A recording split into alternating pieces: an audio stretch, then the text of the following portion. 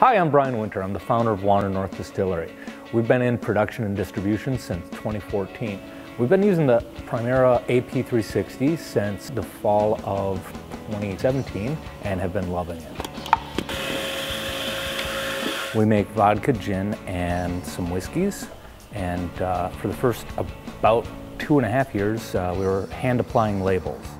Had done some research with the labelers, and uh, additionally, one of the other small distilleries around town had one and asked for feedback, and he said he loved it. It was a game changer.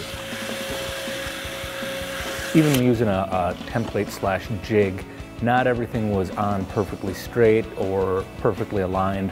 Uh, but with this, once we get it set up, it is, the first one looks like the 50th, looks like the 1000th bottle. Ease of setup and use is fantastic. Feeding the empty roll through there, just get that adjusted. We'll get it aligned, feed this on up, close that down, and in, addition to the consistency that you're getting with uh, the AP360, uh, it's also so much faster.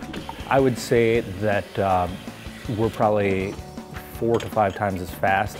We also um, upgraded our bottler to a four spout and uh, this keeps up with it. So it's, it's been really great. As, as far as purchasing it again, I would definitely, I would have no reservations with that.